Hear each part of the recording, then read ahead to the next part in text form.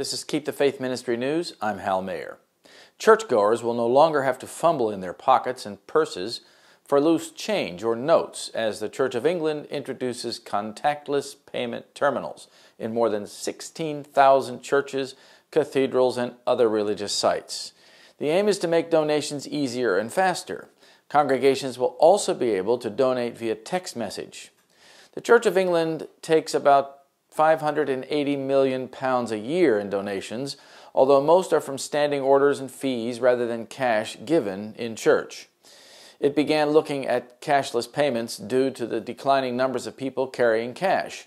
Its portable card readers can take payments from contactless bank cards, chip and pin, Apple Pay, and Google Pay.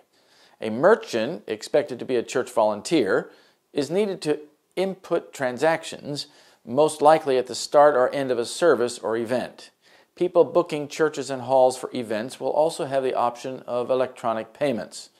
The technology firms SumUp and iZettle will provide the services.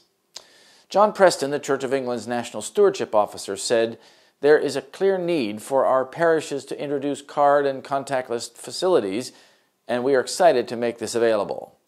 How we pay for things is changing fast, especially for younger churchgoers who no longer carry cash, and we want all generations to be able to make the most of their place of worship.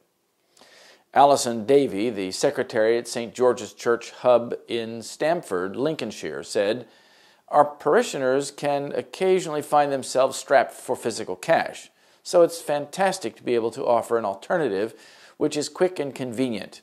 We hope this is a step forward for St. George's and many other churches like it in staying ahead in the modern era. Margaret Cave, the vicar of Christ Church in East Dulwich, South London, said she would like a totally cash free church. It's nice just to feel part of the 21st century. When a young couple come in to discuss their marriage banns, which cost 43 pounds, I no longer have to send them over the road to a cash point, she said. Also, if people are giving money by card, there's no question that any of it is going to go missing. The Catholic Church is also moving to contactless collections to make donations easier in an increasingly cashless society. Several parishes in the Diocese of Westminster allow parishioners to donate via text message. The churches are now assisting the movement toward cashless. Cashless payments give banks and governments enormous power. One day they will use this power to prevent those who keep God's commandments from buying and selling. And that no man might buy or sell, save he that had the mark, or the name of the beast, or the number of his name. Revelation 13 17. This is Keep the Faith Ministry News. Thank you for watching.